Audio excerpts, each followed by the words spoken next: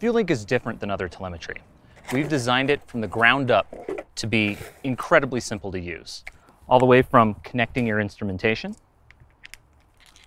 to connecting your power to understanding if it's set up.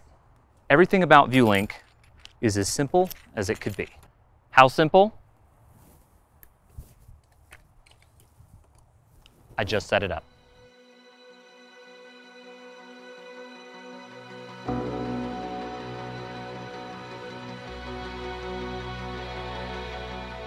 VuLink is a really groundbreaking new piece of environmental telemetry. It really focuses on simplicity, ease of use, reliability, and cost effectiveness to make a solution that's unlike anything in the industry today. Everybody hates to use environmental telemetry. It's so complex, it's so difficult to set up, people were so intimidated by their telemetry.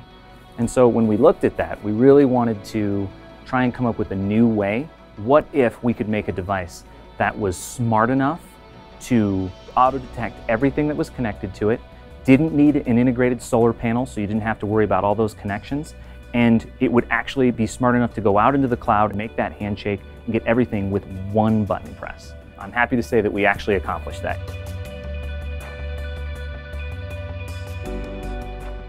It's not like environmental telemetry is new in the industry.